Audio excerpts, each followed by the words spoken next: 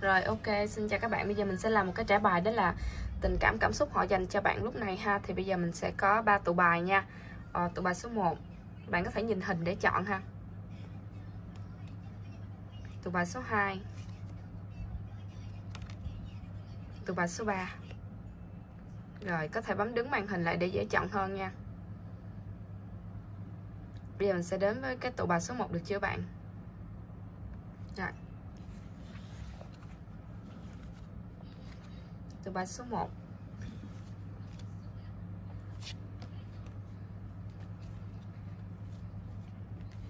từ bài số 1 ở bắt đầu ở 0 phút 40 ha. Tình cảm cảm xúc họ dành cho bạn lúc này. Thì mình nghĩ là một cái liên kết tương tác giữa hai người là Một cái liên kết past life relationship ở đây. Có nghĩa là một cái liên kết mà mình nghĩ là nó có rất là nhiều những cái uh, cảm xúc đối với nhau Nhưng mà những cái cảm xúc này á nó có thể là uh, mình có những cái khoảng cách hoặc là sự chia cách hoặc là sự uh, ngắt kết nối hoặc là không có được uh, thông thoáng trong cái mối quan hệ. Nhưng mà không hiểu sao thì bạn cũng rất là thu hút cái người này. Ha và cái năng lượng này thì uh, mình thấy là cái kết nối này thì uh, giữa bạn người này sâu sắc lắm. Có thể là ngọn lửa sinh đôi. Mà cái năng lượng này thì mình thấy rằng là bạn nên nhìn theo cái hướng tích cực bạn hãy nên nhìn vào cái uh, nét đẹp của bản thân mình và sự tuyệt vời của bản thân mình. Mình thấy cái người này họ nhớ bạn ha. Và cái người này á thì uh, họ có thể là họ đang mong muốn tìm hiểu xem là bạn có thể là mong muốn điều gì trong cái liên kết và mối quan hệ này để họ có thể đáp ứng. Thì cái mối quan hệ này thật ra thì mình không biết rằng là sắp tới nó có cái sự chia tay hay không. Nhưng mà có thể là nó sẽ có một cái à, một cái gọi là giai đoạn mà để mà làm mới lại cái giống như không phải làm mới mà là giống như để uh, nói chung là có thể là nó sẽ không có lặp đi lặp lại những cái vấn đề cũ nữa. Nó sẽ không lặp đi lặp lại thí dụ như hai người im lặng với nhau hoài nhiều lần nó sẽ không lặp đi lặp lại cái điều đó nữa. Và mình nghĩ rằng là năng lượng này bạn có thể giải phóng được bản thân mình tốt hơn vui vẻ hơn thoải mái hơn. Có thể là uh, năng lượng này thì uh, nó sẽ có những cái sự thật mà bạn cần biết á. Ờ, và những cái sự giao tiếp ừ, mà nó mang cái tính là trân trọng nhau hơn à, sẽ có được cái sự bảo vệ và sẽ có một cái năng lực nó, nó nói chung là mình cảm giác năng lượng của cái cái cái trải bài này á đó là bạn sẽ có thể là làm mới bản thân của mình hoặc là có thể là làm cho cái cuộc sống của mình nó thay đổi bởi vì cái cái tâm cái tâm trạng của bạn thay đổi nó giống như là vậy. Thật ra thì mình nghĩ là giữa bạn với cái người này sẽ có cái cuộc nói chuyện với nhau ha. Sẽ có cái sự nói chuyện với nhau.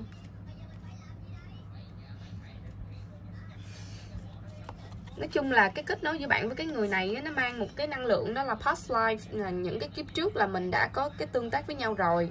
Và bây giờ mình à, mình kết nối lại mình lặp lại mình mình uh, tương tác lại với nhau là là để là mình trao cho nhau cái tình cảm trở lại.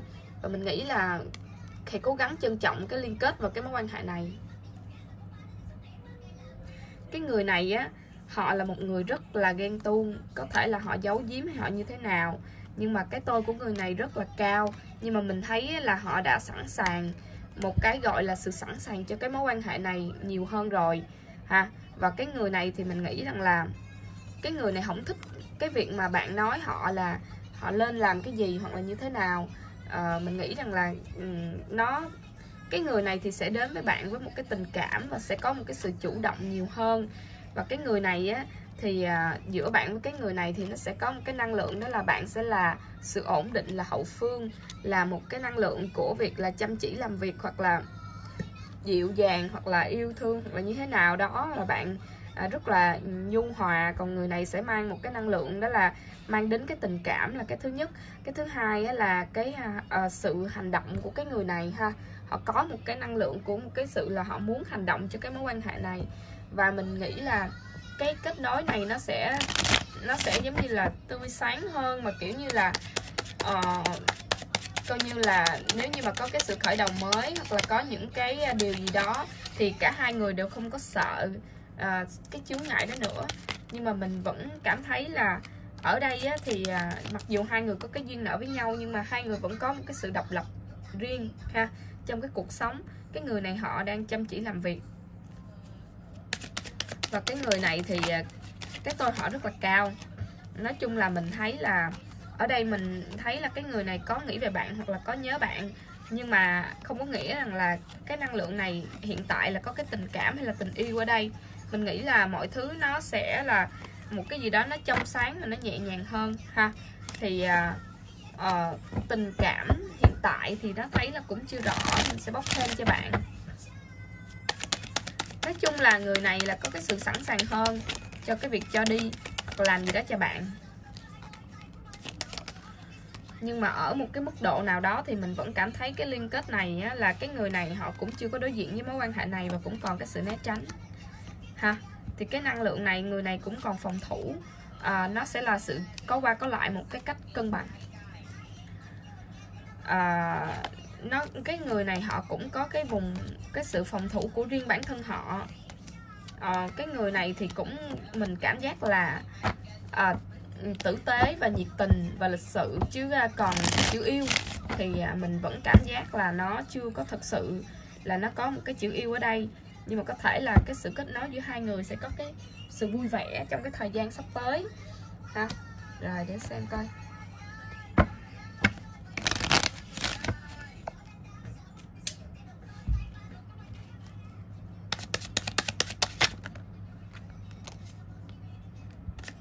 Cái mối quan hệ này nó sẽ dễ có cái sự à, chia tay đó, nha.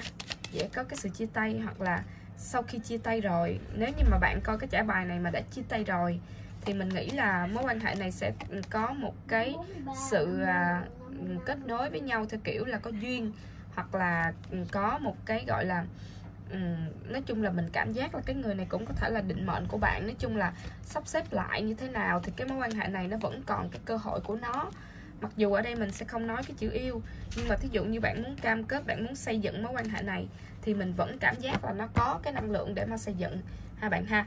Nhưng mà bạn phải nhớ rằng là xây cảm giác yêu, ha? Tại vì cái năng lượng này thì mình vẫn cảm giác thấy là nó chưa có cái cảm giác yêu. Thì có thể là nó sẽ là sự cân bằng có qua có lại, một cái cách nó ổn định hơn trong cái năng lượng này.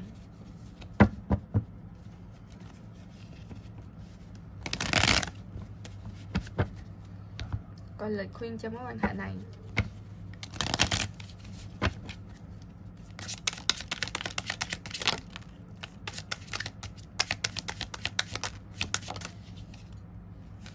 Ok.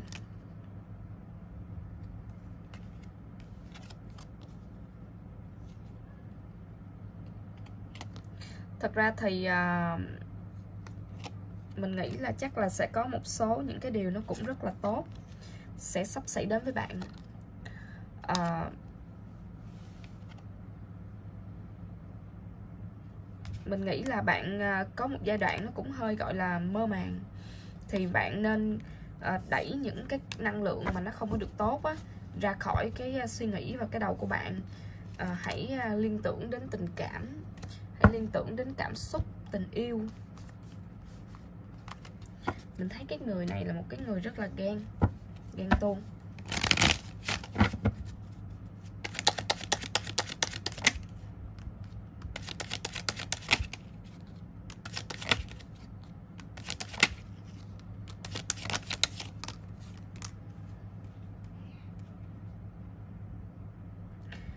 cái năng lượng này thì mình nghĩ chắc là cũng sẽ có sự im lặng á. Một khoảng thời gian á. Nói chung là nếu mà đánh giá tình cảm cảm xúc của cái người này thì gọi là đại khái gọi là cũng có sẵn sàng một chút cho mối quan hệ này. Nhưng mà nó vẫn ở một cái mức độ là mình thấy là nó cũng cần phải xây dựng rất là nhiều. Nó thật sự là nó chưa phải là một cái sự lý tưởng. Có nghĩa là bạn vẫn tồn tại trong cuộc sống của họ. Có thể họ không bỏ được bạn, hoặc là có thể là họ vẫn còn muốn kết nối với bạn. Bạn với người này vẫn còn duyên. Nhưng mà để mà nói là một cái sự rất rất là cần thiết đó thì mình cảm giác là chưa chưa có cái sự à, gọi là cái vị trí của bạn trong lòng của cái người này á hoặc là như thế nào là vẫn có tồn tại nhưng nó không phải là cảm giác là nó không phải là number one á nói chung là vậy á. Đó. đó thì bạn có thể là bạn vẫn thu hút ha. Ok nha mình sẽ kết thúc cái tụ bài số 1 ở đây.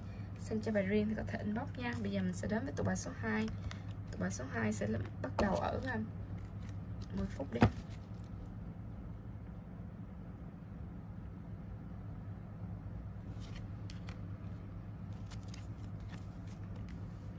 Ok tụ bài số 2 ở 10 phút.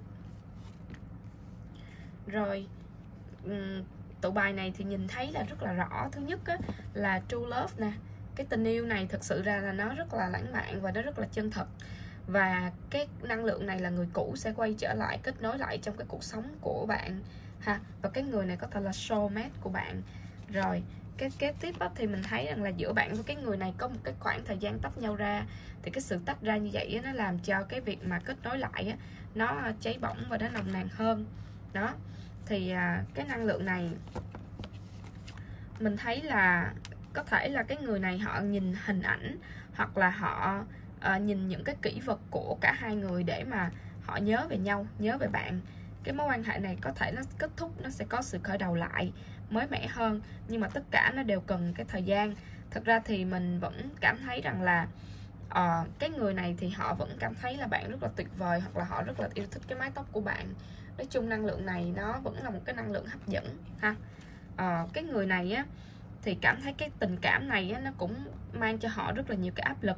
Và họ cảm thấy bạn rất là special bạn rất là đặc biệt trong cái cuộc sống của họ đó. Và mình nghĩ rằng là họ có bắt đầu có rục rịch muốn hành động cái gì đó trong mối quan hệ với bạn.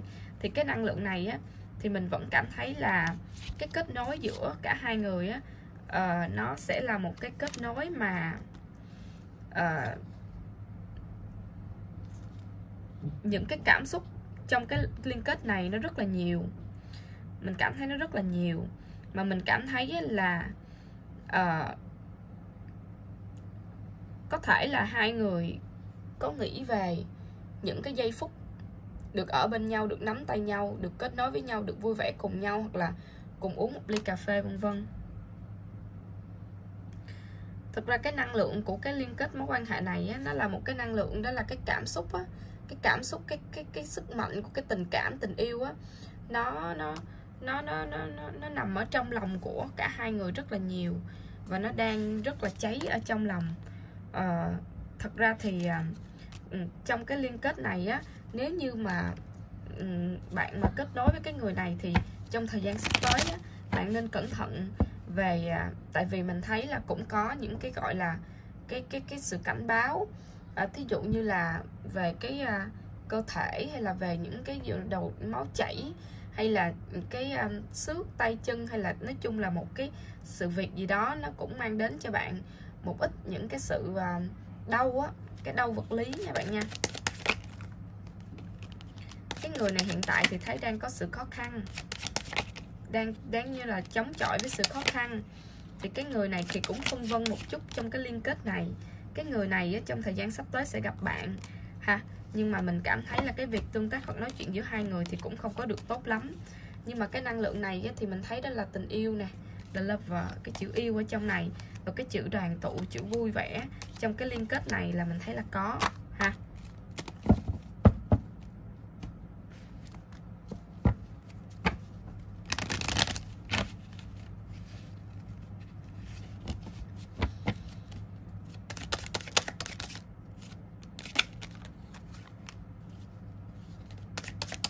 Thực ra mình thấy cái mối quan hệ này, mặc dù là mình nói là cái cảm xúc nó có cái người này với bạn có một giai đoạn tách nhau ra, hoặc là cái này là true love, nhưng mà thật ra thì à, cái màu sắc của cái trải bài này mình vẫn không có đánh giá rằng là nó là một cái kết nối mà nó nó gọi là nó có cái sự ổn định hoặc là bền vững trong thời gian sắp tới.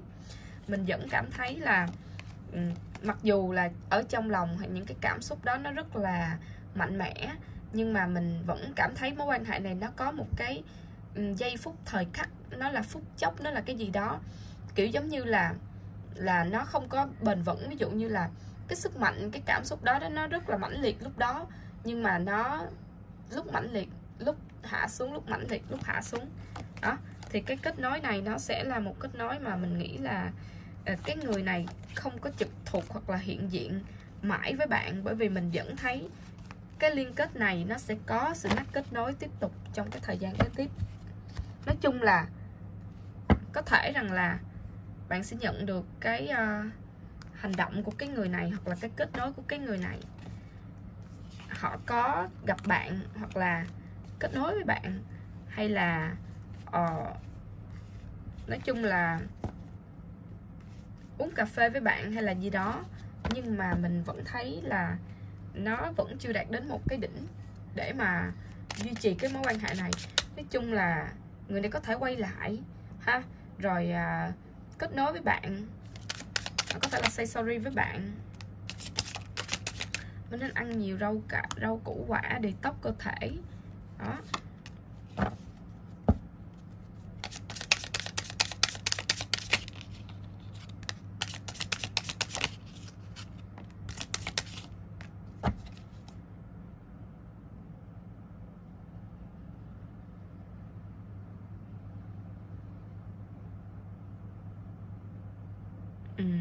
Chung là nên ngủ nhiều một chút. Thực ra mình vẫn cảm thấy uh, cái kết nối này nó nó hiện diện thôi bạn.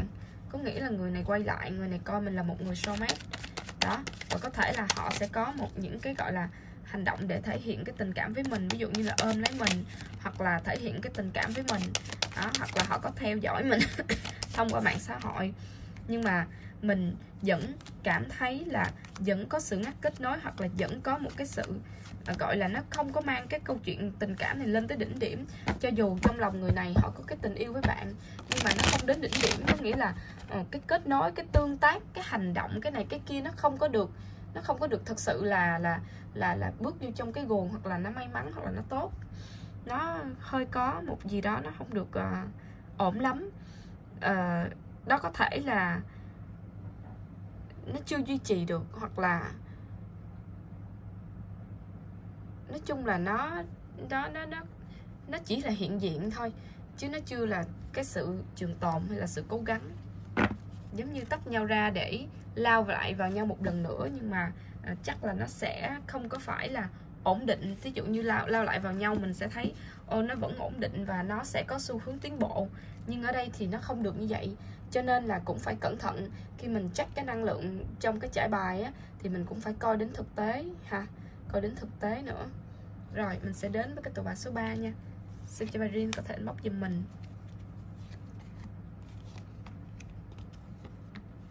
Rồi năng lượng này thì 17 phút 30 đi ha. Thì à, năng lượng này á, đầu tiên là tình cảm cảm xúc họ dành cho bạn á thì mình thấy rằng là có vẻ như là họ đang có những cái sự uh, suy nghĩ về cái mối quan hệ này theo cái kiểu là họ nhớ bạn họ muốn gặp bạn họ họ muốn bạn chấp nhận tình yêu của họ họ thấy bạn rất là dễ thương đó. À, và chỉ cần bạn yêu bản thân mình thì cái người này họ sẽ đến đón bạn giống như là bạn là một công chúa nó giống là như vậy. Thì cái kết nối này đó là người này nghĩ về bạn nè đó thì bạn có thể là bạn say no với những điều dưới giá trị nhưng mà cái năng lượng của mối quan hệ này nó đang có một cái sự cởi mở và kiểu như là rộng rộng hơn một chút. Nhưng mà cái sự cởi mở đó là bước ra khỏi vùng an toàn à, chứ nó không có nghĩa rằng là nói chung là mình vẫn cảm thấy mối quan hệ này có thể bạn là người thứ ba và cũng có thể là liên kết này đó là một mối quan hệ nó chưa có được thật sự là ổn định đâu bạn. Cái người này á à, lúc đó thì có thể là họ rất là tử tế nhưng mà lúc có thể là họ rất là lạnh lùng. Và họ có cái sự ích kỷ riêng cá nhân của bản thân họ. Ờ, họ cảm thấy là bạn làm đầy tràn đầy cái trái tim của họ cái cuộc sống của họ. Họ muốn làm một cái điều gì đó hoặc là bất cứ điều gì cho bạn nếu như mà bạn mong muốn. Đó thì họ muốn làm những điều đó. Nhưng mà khi họ muốn làm những điều đó có nghĩa là họ có động lực. Nhưng mà cũng không có nghĩa rằng là họ yêu mình nhiều đến nỗi là là là xem mình là tất cả trong cuộc sống. Có nghĩa là giống như ừ họ muốn kết nối với mình, họ muốn gặp mình, họ đang trong trạng thái là muốn muốn mình, ha. Nói chung mình nghĩ là cái mối quan hệ này là cái năng lượng của cái việc đó là họ muốn kết nối lại và cái thông điệp tình yêu dành cho bạn là rất là nhiều. Là giống như là tôi có tình yêu với em là tôi rất là muốn kết nối với em, rất là nhiều cảm xúc với em và tôi muốn nhanh chóng kết nối với em cái kiểu là vậy. Passion. Tình cảm này là người này là có với bạn là đâm đầy.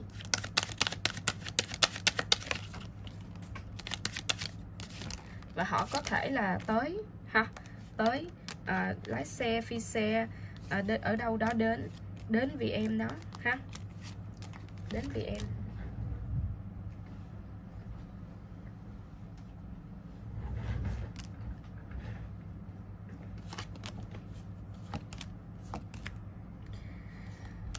Nhưng mà nó vẫn là một cái sự ích kỷ cá nhân. Thực ra mình vẫn cảm thấy là một cái sự ích kỷ cá nhân. Nhưng mà cái mối quan hệ này là cái nhiều cái đam mê lắm, đôi khi không có từ chối được.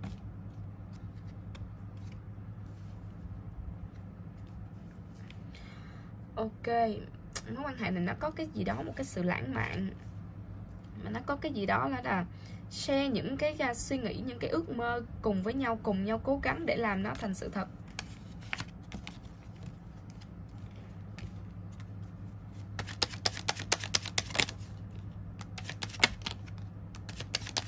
Chung là người này muốn kết nối, người này muốn quay lại mà người này cũng gần lắm rồi.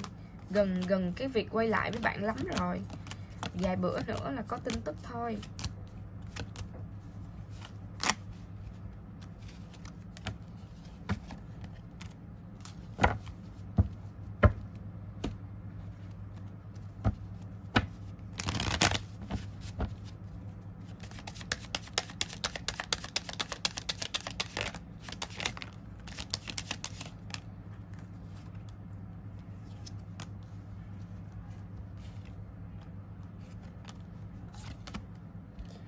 Ok liên kết và mối quan hệ này nếu mà là tình cảm cảm xúc thì kiểu người này nghĩ về bạn và cái người này là um, có một phần nào đó của cái người này á họ cũng không có được sẵn sàng với cái mối quan hệ này.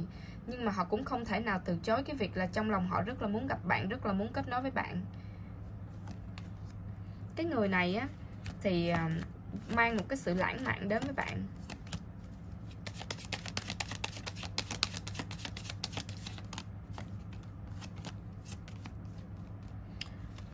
Mối quan hệ này cũng chưa được tốt lắm. Cũng chưa được ổn lắm. Động lực, sự cố gắng để mà hành động cho mối quan hệ này thì có. Nhưng mà chưa được, xây dựng chưa được chưa được ờ, gọi là tốt. Nói chung là thông điệp tình cảm là cái người này đã gần với mình lắm rồi. Muốn kết nối với mình, yêu thương mình, tình cảm với mình nhiều lắm rồi cái người này phải đặt được cái tôi xuống, nỗi sợ hãi xuống.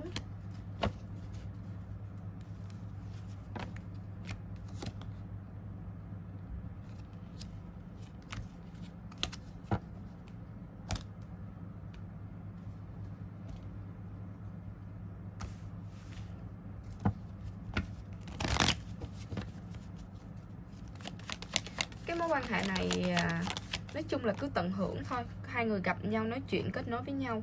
Nhưng mà mối quan hệ này có sự cạnh tranh của người thứ ba một cái người khác. Và mình nghĩ chắc là bạn cũng sẽ rất là mệt mỏi về cái mặt cảm xúc đối với mối quan hệ này. Tại vì mình thấy là bạn cũng có sự phụ thuộc cảm xúc nhưng mà chắc là bây giờ bạn sẽ à, vùng lên nhiều hơn bạn sẽ mạnh mẽ hơn. Bạn không còn à, nói chung là bạn sẽ giảm bớt những cái năng lượng. Nói chung hai hai người sẽ có sự trao đổi năng lượng với nhau đó. Nói chung là tương tác với nhau trở lại vân vân vì cái người này muốn gặp bạn và họ cảm thấy bạn rất là ngọt ngào. Ok, mình sẽ kết thúc cái tụ bài số 3 đây ha. Các bạn xem cho bài riêng có thể inbox cho mình nhé.